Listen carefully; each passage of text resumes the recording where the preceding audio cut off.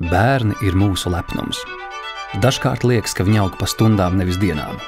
Stiepjas garāki mūsu acu priekšā, bet koki aug klusēdami. Viņi nedižojas. Iespējams, tā liepa jau ir saucama par dižliepu.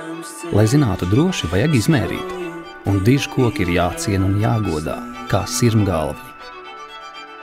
Par to, ko viņi 200 gadu laikā redzējuši, par visu to skābekli, ko saražojuši.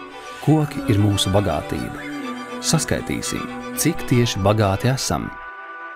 Uzdāvini dažas stundas laika saviem bērniem un savai Latvijai. Dodieties kopā dabā, izmēriet un atklājiet jaunus diškokus. Savu diškoku var reģistrēt mājaslapā vai arī sūtot vēstuli pa pastu.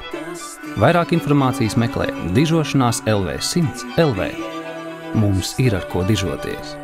Aicina Dabas aizsardzības pārvalde, Kultūras ministrija, Latvijas televīzija, Latvijas radio un LSM LV.